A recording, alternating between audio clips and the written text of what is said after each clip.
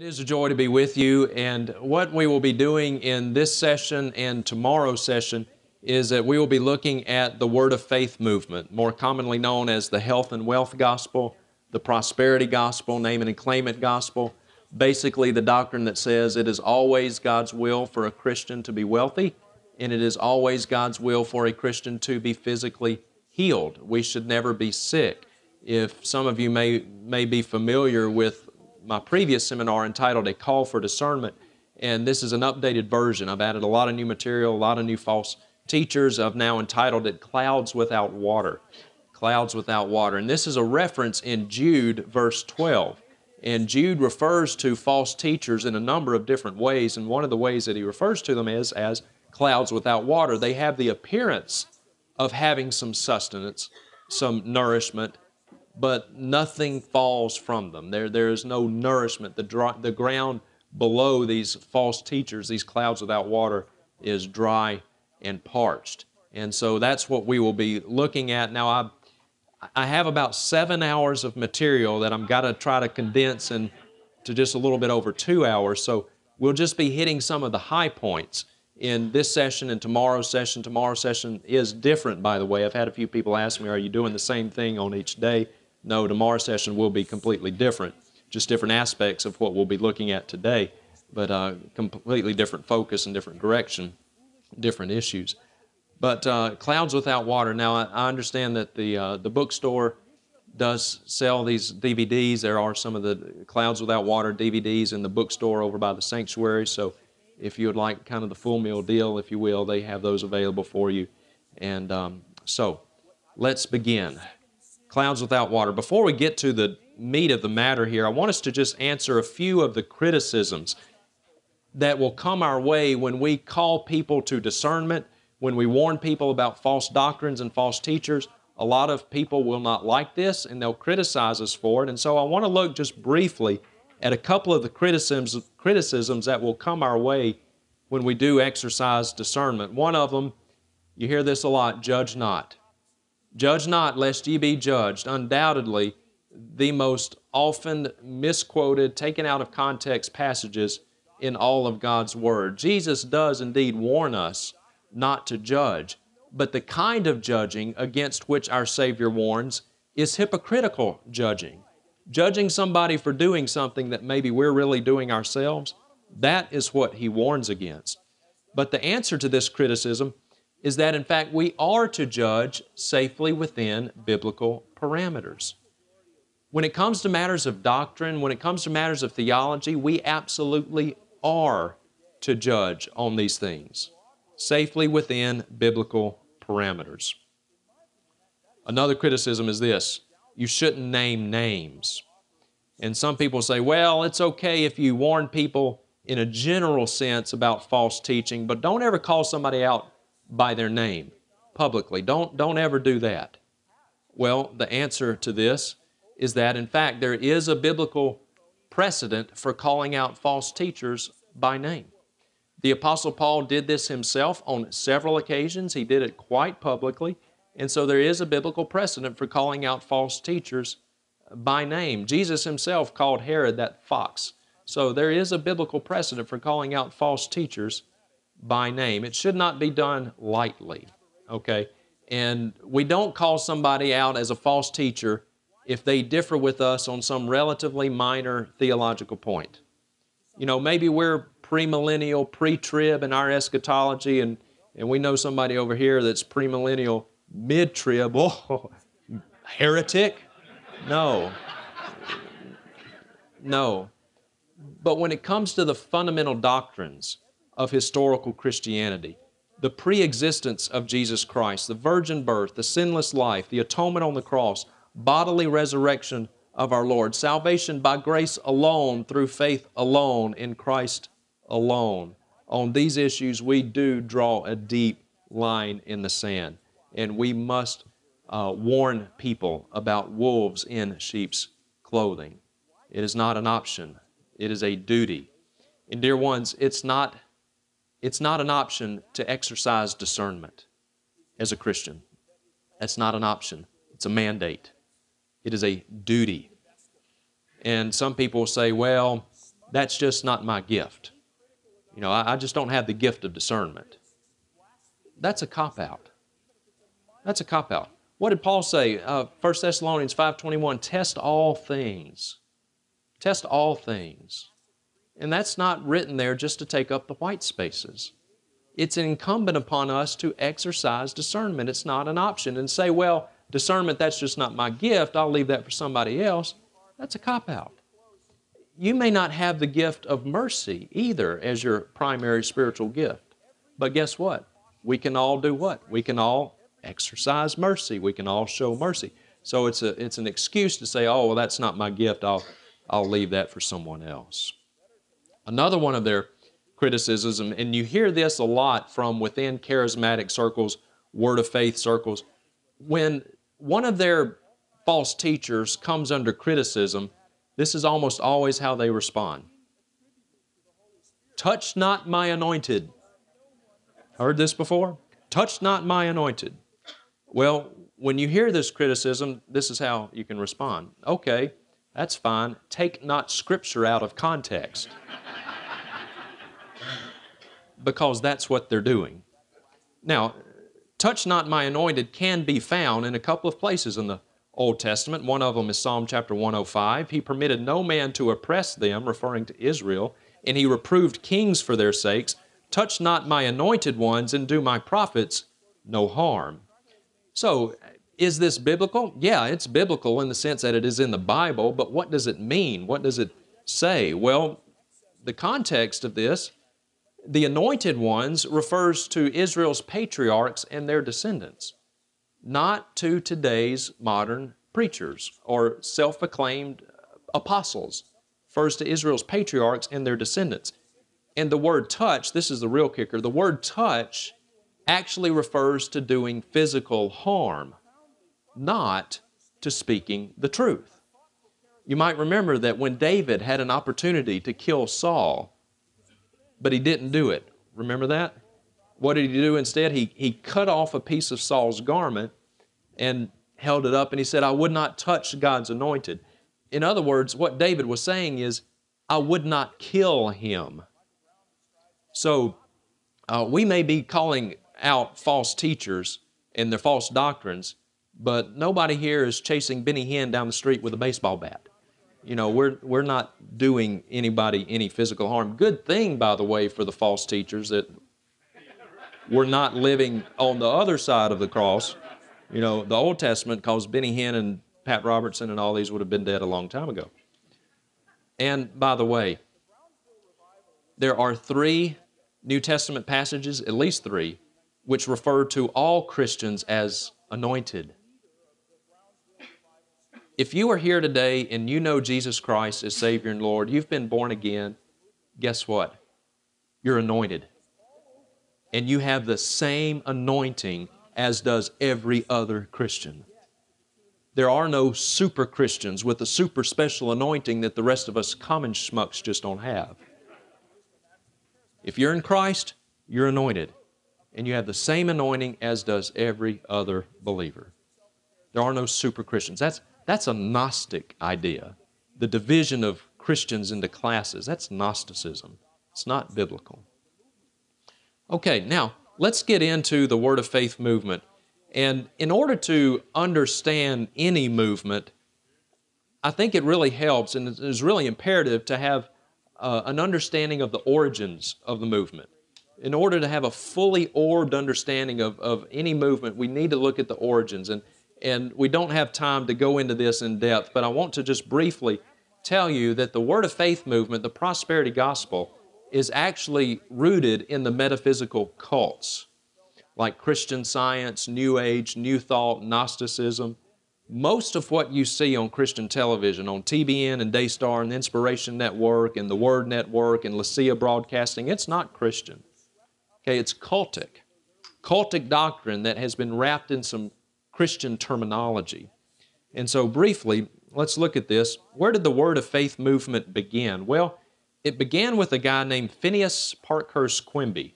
Quimby, you could call the great grandfather of the Word Faith movement. Quimby was the father of New Thought, a metaphysical cult. Now, when I say metaphysical, that's a big word.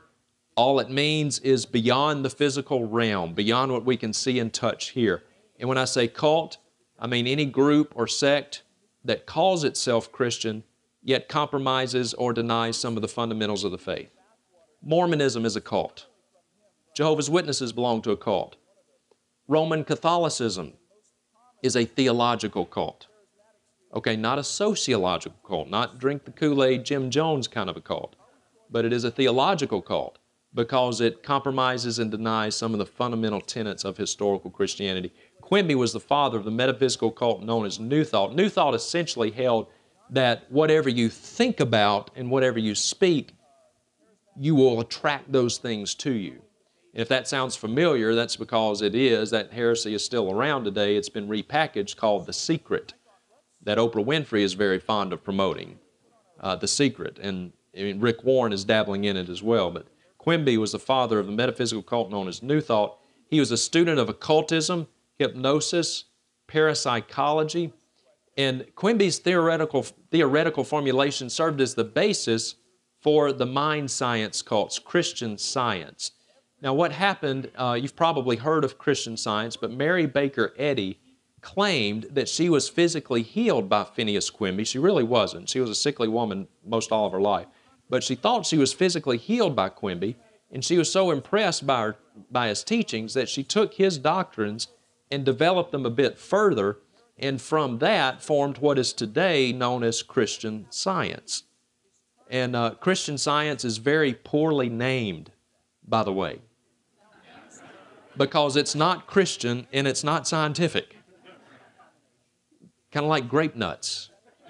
You know, they're they're not grape and they're not nuts. Christian science is neither Christian nor is it scientific, but there are a lot of Christian science overtones in the Word of Faith movement, one of which is the denial of physical symptoms when it comes to sickness and disease. If you have a friend or a family member who is in this movement, you might notice that when they get sick, they deny that they're sick. You know, maybe they've got a cold, uh, their eyes are watering, their nose is running, they're sneezing, they're congested, the whole nine yards. But uh, you say something to them about it, oh, no, no, no, I'm not sick. I won't confess that. Well, that's Christian science. That has just been wrapped in some Christian terminology the father of the modern uh, word of faith, well, not the father, but grandfather, you could say, of the, of the modern word faith movement is a guy named Essek Kenyon. Essek Kenyon uh, had very clear ties to the metaphysical cults, particularly the New Age, New Thought movement. He attended college at the Emerson School of Oratory in Boston, where the metaphysical cults flourished, and he was heavily influenced by them. We don't have time to get all into, his, into all of his doctrinal distinctives. Kenyon was not wrong on everything. On a lot of things, he was spot on. But he, he did have some serious errant theology. Uh, he believed that we could speak things into existence, uh, that Jesus died a spiritual death in hell where he atoned for our sins. We'll talk about that, time permitting, a little bit later. So, but what has happened in the modern prosperity movement is that your people like Benny Hinn and Kenneth Copeland, by the way, I've been in Kenneth Copeland's bookstore and he's got Essek Kenyon books for sale in the bookstore. Uh, but what these modern false preachers have done is they have taken Kenyon's mistakes and made them much worse. So, compared to the modern word faith preachers, Essek W. Kenyon was actually fairly orthodox by comparison. By comparison. Kenneth Hagin, father of the modern word of faith movement, Despite Kenneth Hagin's teaching that no believer should die until he's at least 120 years old, you see, Kenneth Hagin didn't quite make it. He was around 86. But Kenneth Hagin claims, like all of the modern faith preachers, that much of what they teach you they received directly from Jesus Himself. God spoke to me. Jesus spoke to me and gave me these teachings. And that is their way of insulating themselves against biblical criticism. And so they'll say, well, if you can't find what I'm teaching you in the Bible, uh, don't worry about it. It's okay because I have it from the highest authority. Jesus Himself came and gave me these teachings. So if you can't find it in the Word, don't worry about it. It's okay. I got it from Jesus. Well, Hagin claimed that Jesus physically appeared to him on at least eight different occasions throughout the course of his life. On one of these occasions, Jesus appeared to Hagin and gave him these exact words. According to Hagin, Jesus dictated to him these exact specific words. It's interesting, however, that Jesus apparently bears a striking resemblance to Essek W. Kenyon. If you can see, it's practically word for word identical. Hagin did not get this from Jesus. Hagin plagiarized Essek W. Kenyon extensively, among other authors as well, by the way. He was a plagiarist. So the faith preachers are very fond of cl- claiming divine origin for what they teach. But as you can see, the origins are not nearly so supernatural. They steal from other people, plagiarize other people, just repackage old heresies, you know, repackaged for a different modern audience. Okay, I want us to look at some of the doctrines now of the Word Faith movement. We'll begin by the doctrine of positive confession. The prosperity preachers teach that we can actually speak things into existence. Watch these clips. Look at me, say, say, say, all, all of you. Say, there's power in me, power in me. to speak life and death. You call what you have, you say what you want. And I'm here to tell you, I know that I know that I know that as these programs are airing, I, am speaking something into existence. Amen. I'm speaking something into existence. If that sounds eerily like God's act of creation in Genesis 1 and 2, that's because it is. Dear ones, only God can speak things into existence. That is not something that you and I can do. The Hebrew word for create is bara. And only God baras. Only God does that. And in case you may be thinking, oh, well, well, they don't really mean by that what it seemed like they meant. You know, it, it, just took them out of context. They don't actually teach that we can speak things into existence like God did, do they? Well, yeah. This is a tweet from Creflo Dollar. As spiritual beings who possess the nature of God, we have the ability to speak things into existence just like God did. Yes, they do teach this. Absolutely. And I'm people accuse me all the time of taking these folks out of context. No, I'm not. I wouldn't want to take I wouldn't want anybody to take me out of context, and I'm not doing it with them. They do teach these things. This is not an aberration, this is mainstream Word of Faith. Most of the charismatic movement, all of the Word of Faith movement, all of it. As was pointed out earlier, there are some people in the charismatic movement who would not go into Word of Faith land but unfortunately, once you take that charismatic position, and we'll talk more about those issues tomorrow, the um, apostolic gifts and things like that, how God does and does not speak. But once you take that charismatic position, it is a very slippery slope right into Word of faith. Few people put on the brakes, vast majority do not. Do not. Watch this video clip from Gloria Copeland dealing with the doctrine of positive confession. You know, you're the you're supposed to control the weather. I mean, Ken's the primary weatherman at our house, but when he's not there, I do it. You can see what's happening out there. It shows just like they have on at the weather, like on the news. I mean, he's got the computers, got the current weather on it and all that for flying. So uh, sometimes I'll hear something. I'll hear the thunder start. Maybe he'll still be asleep, and I'll say, Ken, you need to do something about this. and knowing that, but you are the one that has authority over the weather. One day, Ken and Pat Boone, we were in Hawaii at their house, and we were, they were sitting outside, and there was a weather spout out over the ocean. And that's like a tornado, except it hits the water. And so they were sitting there, and they just watched it, rebuked it. It never did anything. One day, I was in the airplane in the back, and my little brother was in the back with me, and Ken was up front flying, and we were not in the weather because we don't fly bad weather. But we, we could see the weather over here. And I looked out the window, and that tornado came down just like this, down toward the ground. And Ken said, I rebuke you in the name of Jesus. You get back up there. So this is how I learned how to talk to tornadoes. I saw this. And that tornado went, whoop, whoop, whoop, whoop, whoop. even while I was watching him, my little brother was not a devout Christian at that time, and that was really good for him to see. So you're the weatherman. You get out there, or the weather woman, whichever it is, and you talk to that thing, and you tell it, you're not coming here. I command you to dissipate. And you get back up there in Jesus' name. Glory to God. That, that I won't charge you extra. That, that really does not even deserve a comment, but I'll offer a couple real briefly. If, well, let's back up. Did you notice how she said that we can control the weather, but we don't fly in bad weather? Why not? I mean, if you can control it, fly through whatever you want to fly through. Honestly, just a little common sense goes a long way in clearing a lot of this stuff up. I mean, aside from the theology, just some common sense. But if it is true, if it is true that Gloria Copeland, and by the way, it's not just Gloria Copeland, um, Benny Hinn says he can do it, Jesse Duplantis says he can do it, Rod Parsley says he can do it.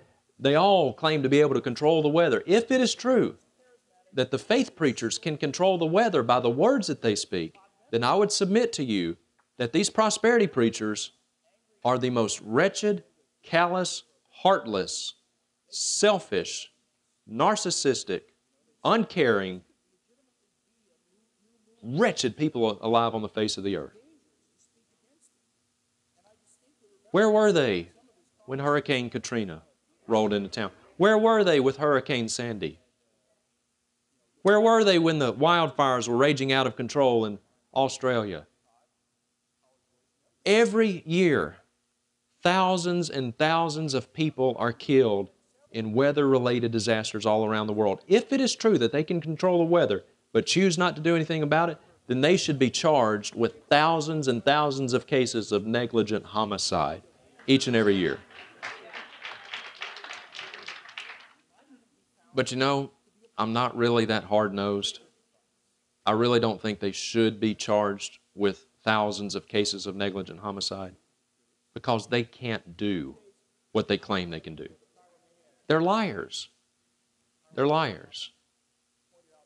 Does it remind you, by the way, of someone else who was able to control the weather? Yeah. They try to elevate themselves to the same authoritative level as Christ. In fact, direct quote, Kenneth Hagin, the, the, the Christian is just as much an incarnation as was Jesus of Nazareth.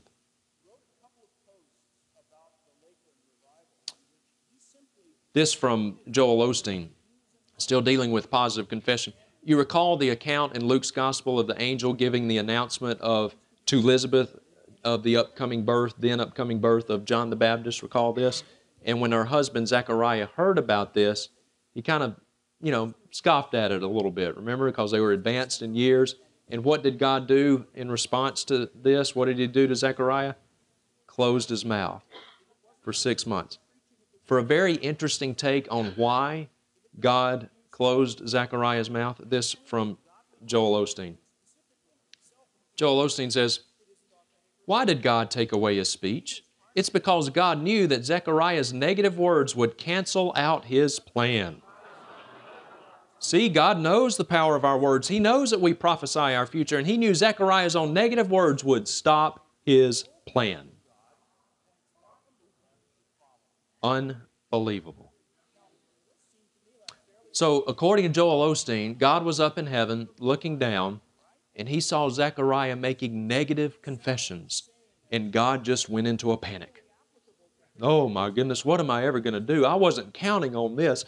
And so, in a last ditch effort to save his plan of redemption, God reached down and closed his mouth and made him a mute. Whew. Boy, that was a close one.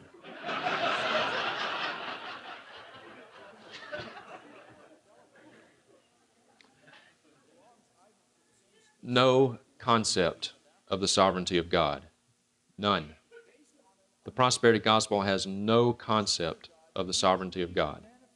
And this is not an aberration, this is mainstream. This is mainstream. The God, little g, of the prosperity gospel is a very weak, very effeminate God. It's not the God of the Bible. Word of Faith movement is just as much a theological cult as is Mormonism or Jehovah's Witnesses. This is interesting. This is a New Age book. Got nothing to do with the Word of Faith movement in and of itself. Supreme Influence. Title Supreme Influence. Change your life with the power of the language you use. Totally New Age. This was in Barnes & Noble New Age section, okay? Nothing Christian about this. Let me show you Joyce Meyer's book, one of her recent books. Now, this is Christian. Change your words, change your life, understanding the power of every word you speak. You see how similar this is? It's the same thing.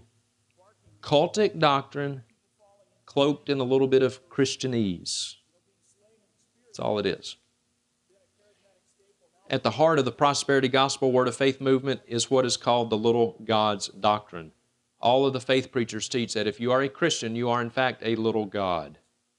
Watch this quote unquote exposition of Genesis 1 26 and 27 from Creflo Dollar. Undoubtedly the most aptly named of the prosperity preachers. But watch this. Watch this from Creflo Dollar. Now, in verse 26 and verse 27, God now submits himself to this principle of everything producing after its own kind. And in verse 26 and 27, let's read it out loud. Ready? Read. And God said, Let us make man in our image, after our likeness, and let them have dominion over the fish of the sea, and over the fowl of the air, and over the cattle, and over all the earth, and over every creeping thing that creepeth upon the earth. So God created man in his own image. In the image of God created he him male and female created he them. Now that's interesting because if everything produces after its own kind, we now see God producing man.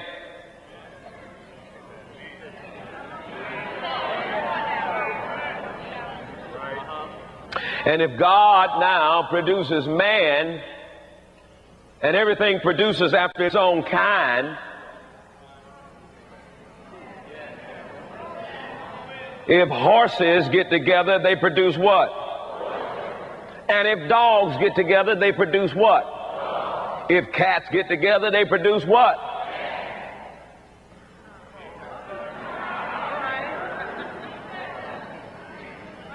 But if the Godhead gets together and say, let us make man, then what are they producing? They're producing gods. Now, I got to hit this thing real hard in the very beginning because I ain't got time to go through all this. But I'm going to say to you right now, you are God's, little g. You are God's because you came from God and you are God. You're not just human. The only human part about you is this physical body that you live in. The real me is just like God. The real me is just like God. Blasphemy blasphemy. Dear friends, when the Bible says that God created man in his image, that means that as human beings, you and I are the pinnacle of God's creation. We are the pinnacle of His creation. And we have the potential and the capacity through a saving relationship with Jesus Christ to know God. None of the other created order has that privilege and ability. You know, I love dogs. I do. I like dogs. I really do. I grew up with black labs, love dogs. But the greatest, smartest dog in the world will never know God because he's not created in God's image. Cats for sure aren't. But.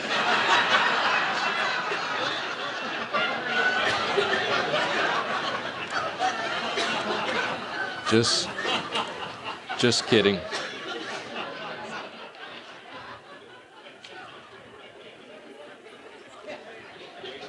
But, but, just kidding, cat lovers, sort of. But we are. But we are. And I don't care what PETA says, you and I are of infinite more value than a chicken or an aardvark or platypus. We are the pinnacle of God's creation. But the Bible is very clear there is only one God, and He is a jealous God who will not share His glory with another. Is a jealous God. And if I remember my Bible correctly, wasn't the desire to be just like God kind of what led to the whole fall thing in the first place? How ironic. The very thing, the very first temptation that led to the very first sin, led to this whole fallen, depraved state, in the first place, is at the core of the Word of Faith movement. They teach it as truth, and they want you to believe it. How ironic. How dreadfully ironic. Who else in the Bible wanted to be just like God? Satan. He wanted the worship that God was getting. And he rose up in rebellion against God. And it got him and a third of the angels along with him kicked out of heaven. The little God's doctrine is quite literally a doctrine of demons. And the prosperity preachers teach it as truth. I want us briefly to look at what the faith preachers teach about the doctrine of the fall. We're going to breeze through these real quickly. Number one, the faith preachers teach that Adam was an exact duplicate of God. Not a little like God, not a lot like God. He was God that God literally reproduced himself in Adam. Adam was a carbon copy of Yahweh. Well, we all know what happened, right? Adam sinned, which of course brings up a very interesting question. If Adam was Yahweh and he sinned, was it Yahweh who sinned? Carry these doctrines out to their logical conclusions. See how heretical they really are. But when Adam sinned, he lost his supposed deity transferred it to Satan. When this happened, the real Yahweh God lost his legal right to planet Earth and was kicked out. And so, according to classic word faith theology, even as we sit here this afternoon, the real Yahweh God is up there somewhere, but he's got no access to planet Earth. He's been kicked out. Well, somebody has to fill that void, right? So Satan is all too eager to step up to the plate, and Satan becomes the legal God of planet Earth.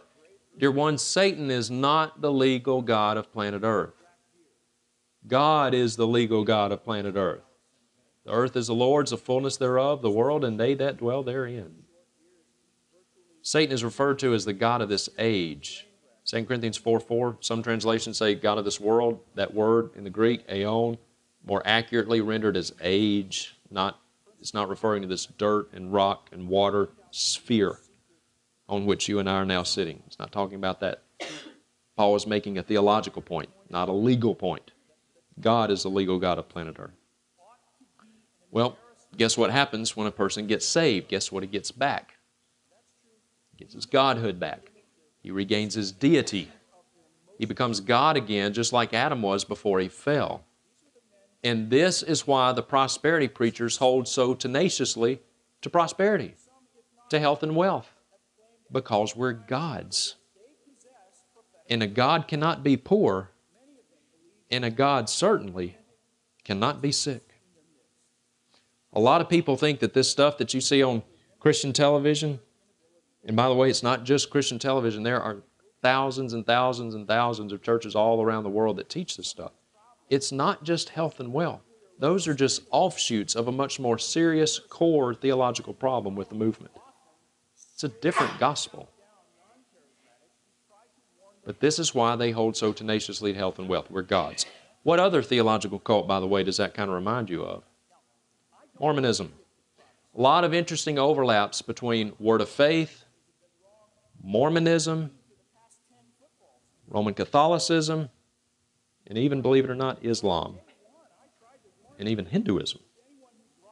Same basic heresies, they're just packaged differently for different audiences. But the allure of health and wealth is one of the things that makes this movement so appealing and yet so profoundly dangerous at the same time. Because the prosperity gospel essentially says this come to Jesus because he'll make you wealthy and he'll heal your body. They appeal to two of the most basic and universal of all human desires. Most people want to be wealthy, and very few people enjoy being sick. There's a few who just like the attention, but most people don't like to be sick. And they'll say, Well, if you'll just come to Jesus, then you can have it. Hmm. Well, sign me up. That's a pretty good deal. You're telling me if I come to Jesus, if I ask Jesus into my heart, He'll make me wealthy? He'll heal my body? I don't have to be sick anymore? I can have my best life now? Yeah. Yeah, I'll try Jesus. But is that the real gospel? Or is the real gospel something a little bit more like this? Come to Jesus because you're a sinner. And because of your sin, the wrath of God abides on you. And the only way to have that wrath removed is to repent of sins, turn from sins, and place your trust in the risen Lord Jesus Christ. And then you will be saved. But on this earth, you're not promised money. You're not promised healing. What are we promised? Persecution. Some of those who live godly in Christ Jesus may be persecuted. All who live godly in Christ Jesus will be persecuted. That's not as popular. Saying come to Jesus because you can be rich. God will heal you. Friends, if you come to Jesus for those reasons or any other reason other than, than to escape the righteous wrath of God, you've come for the wrong reasons false decision, false conversion. There is no prosperity gospel. There is no social gospel. Thank you very much, Tony Campolo. There are no adjectives to the gospel. If you add an adjective to the gospel, you've got a different gospel. There is just the gospel. That's it. Related to their emphasis on health and wealth is their softening of sin. Their softening of sin. Uh, they may mention it from time to time, but they don't go deeply into it. They don't talk about sin very much. If they do, it's just kind of in a casual, surfacey sort of way. Watch this video clip from Joseph Prince. Joseph Prince is a uh, up and coming, probably the fastest rising star right now in Word of Faith theology. Watch this from Joseph Prince as he's being interviewed on TBN. Listen carefully, because not everything he says here is wrong to do this, but you're getting the same kind of response, aren't you? People yes. need and and want. You know, the word repentance, uh, like Joel said, is from the Greek word metanoia, which literally means change your mind. And uh, every time, like Joel or, or, me preaching the word, without using the word repentance sometimes, but people's minds are being changed all the time. From thinking this way negatively to thinking positively. Well, Joel, I mean, uh, Joseph Prince says that uh, the Greek word for repentance is metanoia. You know what? He's right. And then he says that the word metanoia means to change your mind. You know what? Right again. But then did you notice how he fleshed it out? He said, We may not be using the word repentance. You know, let's not confuse anybody with theological terms that the Bible uses. So we may not be using that term, but we're teaching people to repent all of the time. When people go from thinking negatively to thinking positively. Friends, that's not repentance. By his definition of repentance, we could all repent simply by joining the Optimist Club. Having a sunnier outlook on life. That's not repentance. Genuine repentance is a change in mind, but it comes when God's Holy Spirit grants repentance. He gives us a godly sorrow over our sin, and when He grants us repentance, there is evidence of that. There is fruit of that, and that will be evident to other people around us. There will be deeds. Paul says, So, King Agrippa, I kept declaring that all people should repent and turn to God, performing deeds appropriate to repentance. John the Baptist, therefore, bear fruit in keeping with repentance. Does this mean we do good deeds in order to repent? No. But when God grants repentance, deeds, fruit will be a natural outflow of that. It is a change in mind, but it's a change in mind that results in a changed life. Live to the glory of God. Watch this video clip from Myles Munroe. We get the mind of God about His will, we pray it. When we pray it, we give Him legal right to perform it. Yes. Let me define prayer for you in this show. Prayer is man giving God permission or license to interfere in earth's affairs. In other words, prayer is earthly license for heavenly interference. That's incredible. That is incredible. God could do nothing on earth. Nothing has God ever done on earth without a human giving him access. So he's always looking for that somebody. Always looking for a human to give him power, permission. In other words, God has the power, but you get the permission. God got the authority and the power, but you got the license. So even though God could do anything, he can only do what you permit him to do. God, God can only do what we permit him to do. Dear friends, I would submit to you this afternoon that God can do whatever he jolly well wants to do. and isn't losing a great deal of anthropomorphic sleep over whether or not He's got our permission to do it. God can do whatever He wants to do. Don't take my word for it. Psalm 115, verse 3 Our God is in the heavens, He does whatever He pleases. Prosperity preachers, word faith preachers, they'll say, Oh, yeah, but that just means that God can do whatever He wants to do in heaven, not on earth. Whatever the Lord pleases, He does in heaven and in earth. in the seas and in all the deeps. Oops. God can do whatever He wants to do. Does not need our permission to do it. You see, they have no concept of the power of God. They accuse us as cessationists of not believing the power of the Holy Spirit, limiting Him? No. They're the ones who limit God, or at least think they do. Because God needs our permission. Watch this from Jesse Duplantis. This will bless you. Friends have frank and open conversations with each other. I've done that with the Lord. I've had the Lord say, uh, Jesse, I've had God come tell me, he said, this is what I'm going to do. I've had the Lord listen, what do you think about this? God has asked me for my opinion. God asks Jesse Duplantis for his opinion? Pray tell, continue. Let's not take him out of context. So I said, Well, Lord, since you ask, uh, maybe I'm doing He said, No, we can talk frankly. What do you think? I said, Well, I don't think you ought to do that. He said, Why you don't think I ought to do that? I said, Well, you know, I, I, know you know people more than I do, but you know, Lord, if you just let me, let me do a little bit more work on this individual, I think we can get them to you. He says, Okay, go ahead. Do what you have to do. And I tell you what, the Bible says, He who wins souls is wise. And he who thinks he can counsel God is a fool.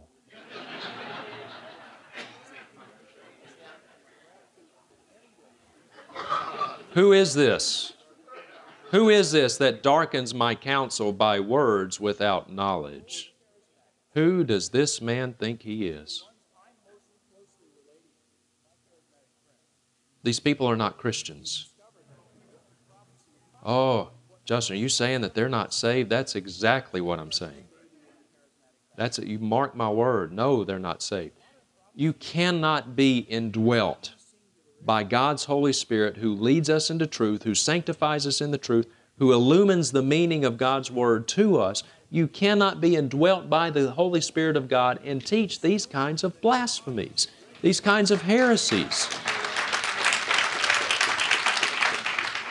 the Holy Spirit would be screaming at them. Are the people in this movement, the lay people, are they Christians? Most are not. The vast majority of not.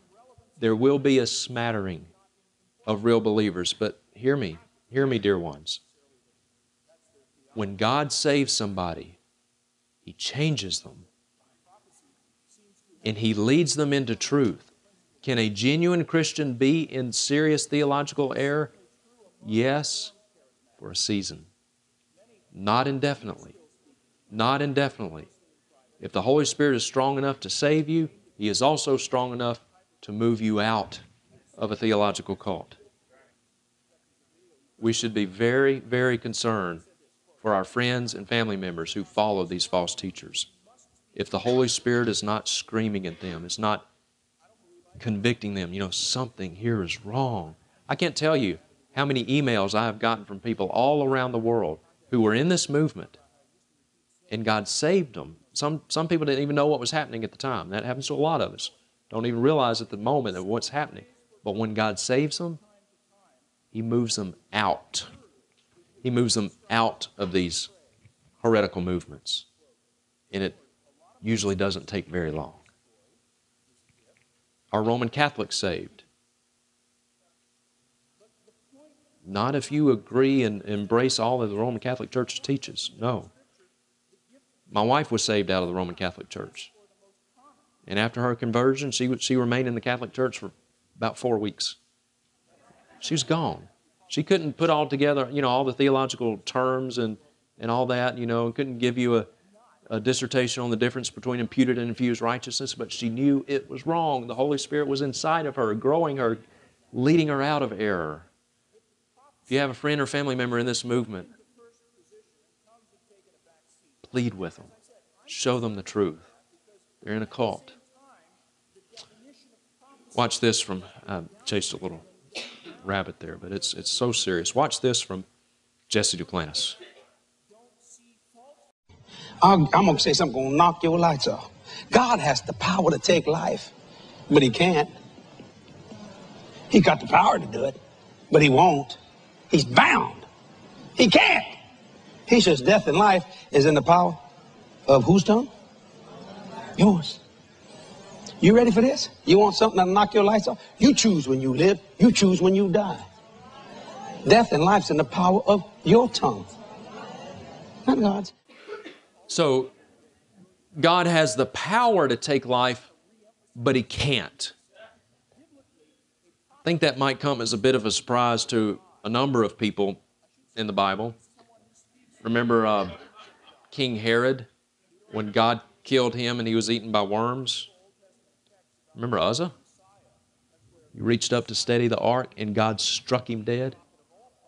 You think God doesn't take obedience seriously? I think he would probably disagree with Mr. Duplantis. Who else? Um, I don't know. Everybody alive on the face of the earth, except for eight people in that little flood thing. I bet they would beg to differ with Jesse Duplantis. I want us briefly to look at what the faith preachers teach about the person of Jesus Christ. If we can establish that they preach a different Jesus, establish they do indeed preach a different gospel.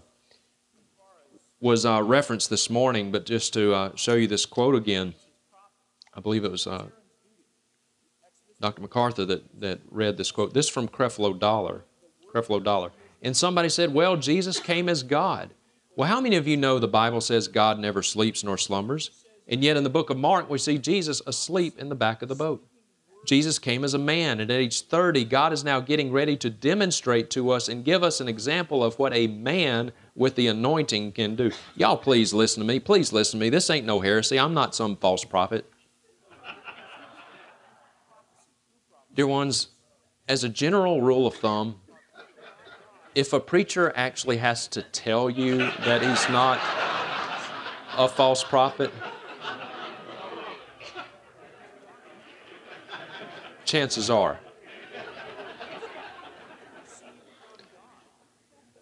But Creflo Dollar says that just because Jesus was asleep in the back of the boat and Jesus never, uh, God never sleeps nor slumbers, then he could not have been God. That is ridiculous. When Jesus came to this earth, He was fully God and fully man, the God man. And as the God man, Jesus experienced many of the same things that you and I experience. He got hungry, he got thirsty, and guess what? He got sleepy. It does not mean he was not God. So, why do they attack the deity of Christ like this? Because they, again, as I said earlier, they want to elevate the Christian to the same status as Christ. All the rights, all the privileges, all the powers.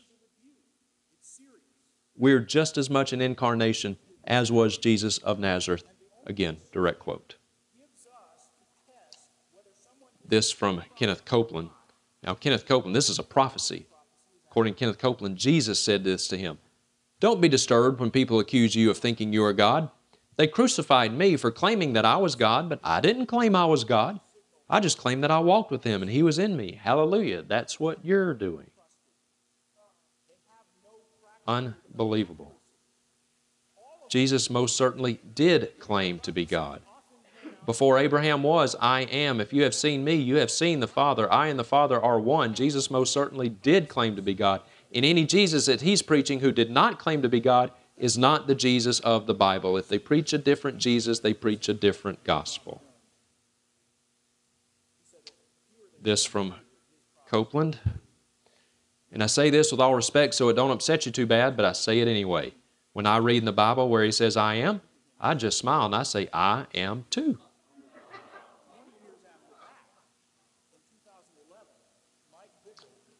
Watch this video clip from Larry Huch and Paula White. We really begin to understand that, that, that when Jesus Christ paid the price, the first thing that happened after he said it is finished is the veil was rent from top to bottom, signifying that no man could do that. But the price that was paid was there's now no separation, so that we have direct access in the Holy of Holies. We understand, according to Hebrews, that Jesus is our high priest, Absolutely. and he's the first of many brethren, which means I now come into a priestly anointing. So I now can Say walk- that again, because I they now- don't get it. I now come into a priestly anointing. Jesus is not the only begotten Son of God. He is not. I'm a son of He's the God. first fruit. If you- You're the. He's the first fruit. He's the firstborn of many. Anointing. Jesus is not the only begotten Son of God. Can you believe that? Flat out denying that Jesus is the only begotten Son of God. Have they read John 3:16? Friends, those of us who are saved, who have been regenerated by God's Holy Spirit, we are children of God by adoption. There's only one who is begotten, and his name is Jesus. Watch this video clip from Victoria Osteen. This is Joel Osteen's wife, and she is leading a communion service at their quote unquote church, which is problematic in and of itself, but that's another issue. And she actually starts off, yeah, pretty good, but it goes downhill real quickly. Watch this from Victoria Osteen. You see, Jesus walked this earth in a human body. He was man. He was God made flesh. The Bible says he was tempted and tried in every way, just like we are, but he overcame. See, Jesus was man until God touched him and put the Spirit of the living God on the inside of him. And that's encouraging today.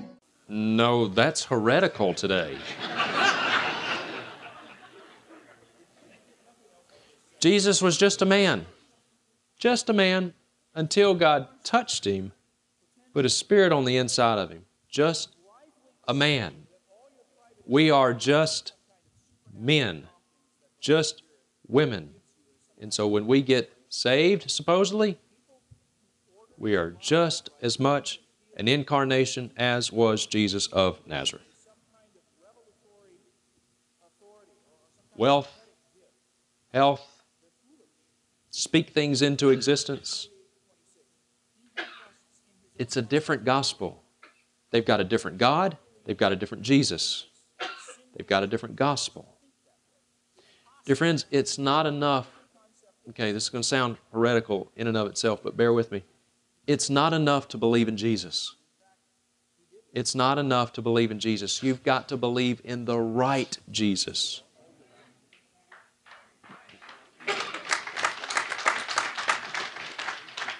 Mormons believe in Jesus.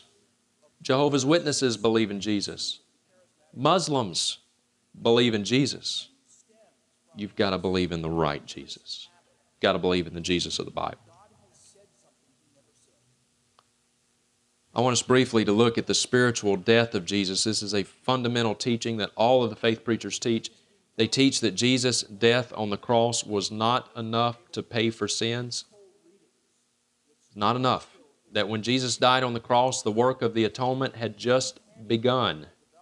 And for time's sake, I've got multiple, multiple videos of this, but for time's sake, I'm not going to get into them. Uh, but this is something that they all teach. They teach that when Jesus died on the cross, he then went to hell, suffered, was tormented in hell, died spiritually, and ceased to be God. And then Jesus had to be reborn. Jesus had to get saved. And they say that that is where the real atonement for our sins took place, not on the cross, but down in hell. And they all teach this. Even Joel Osteen has taught this. Joyce Meyer teaches this. Benny Hinckliffe, all of them. Kenneth Copeland, I mean, run the gamut. They all teach it. Bill Johnson. Bill Johnson in Redding, California. He's uh, one of the leaders, movers, and shakers of the New Apostolic Reformation movement.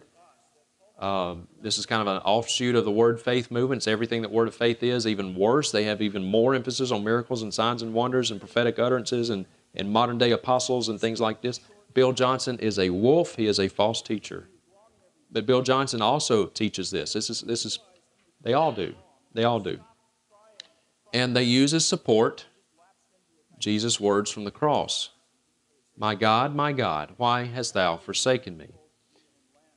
Probably even shouldn't get into this because it's too much to unpack in 10 or 15 minutes, but but this is this is where this comes from. It, it's not just word of faith in NAR. It's also this is commonly held among many evangelicals that Jesus died spiritually. And when he was on the cross, he was separated from God the Father. Be very careful with that. Well, Jesus is quoting Psalm chapter 22, verse 1. Okay, so if he's quoting Scripture, he's applying not only that verse to himself, but the context of the passage to himself. Okay, we don't take verses of Scripture out of their proper context, leave them in their context.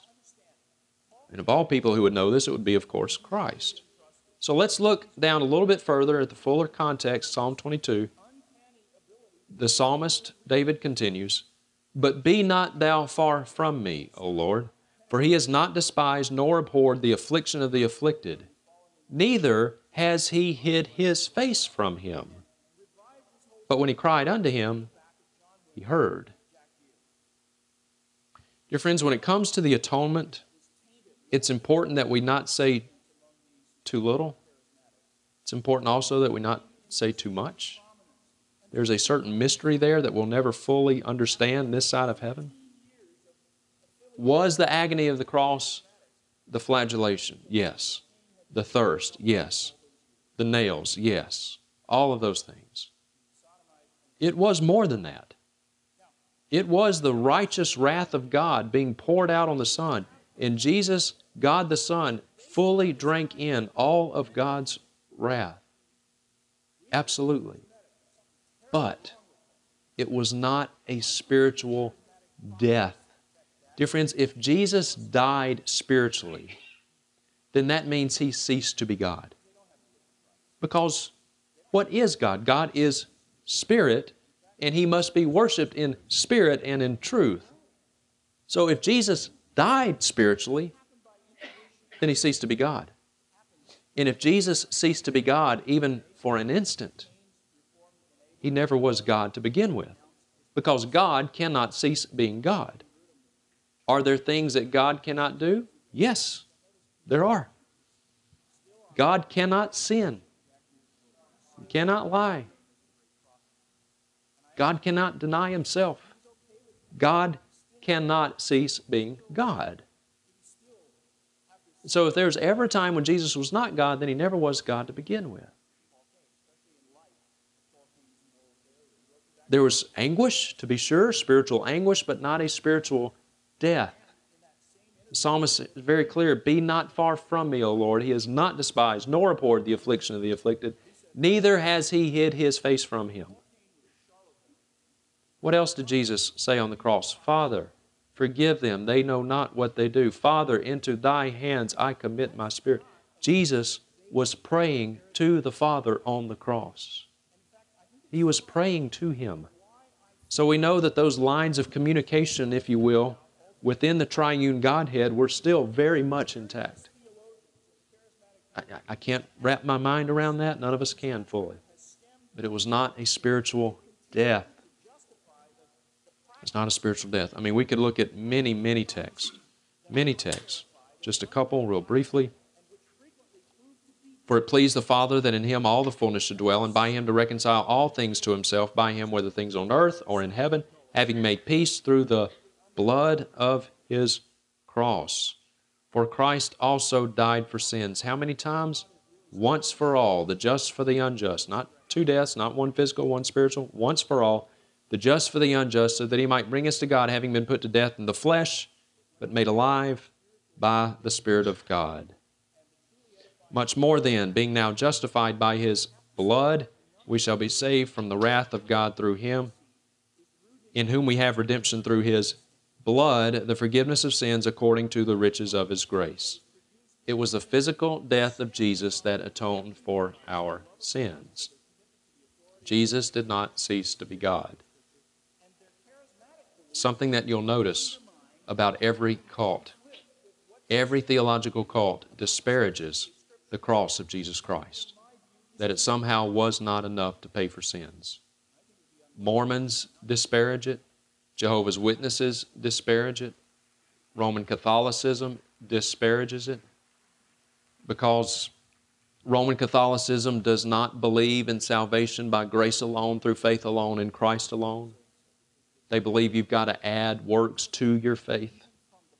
Friends, if you add anything to faith alone, you've got a different gospel.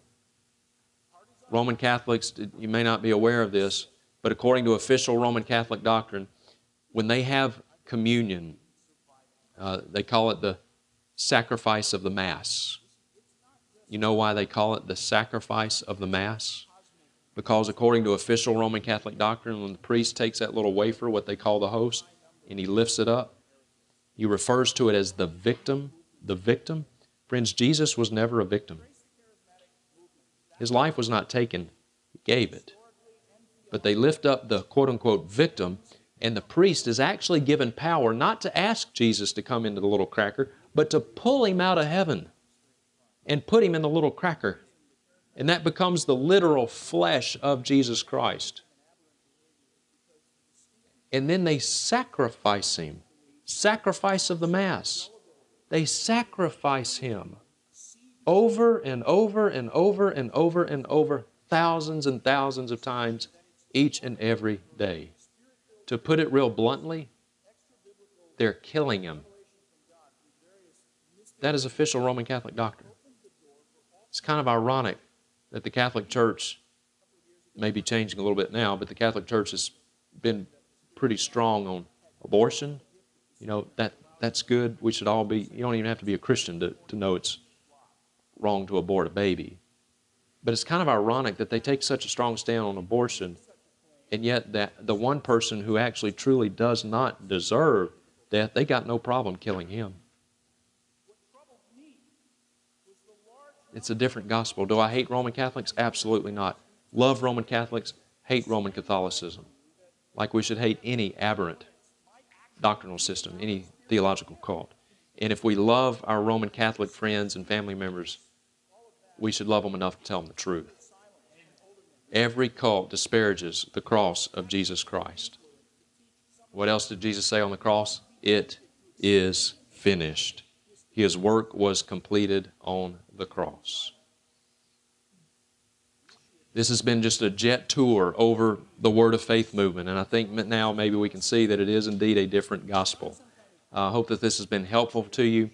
Um, tomorrow we'll be looking at other aspects of the Word of Faith movement. We'll be looking at uh, tongues, some. We'll be looking at people who claim they've been to heaven. Looking at that. Uh, how does God speak to us today? We'll be looking at that. Healing, physical healing. Is it always God's will to be healed? If I'm not healed, is it because I don't have enough faith? Is healing in the atonement? Isaiah 53, 4 and 5, by his stripes we are healed. We'll be looking at all those uh, tomorrow's session. So thank you very much for coming. We'll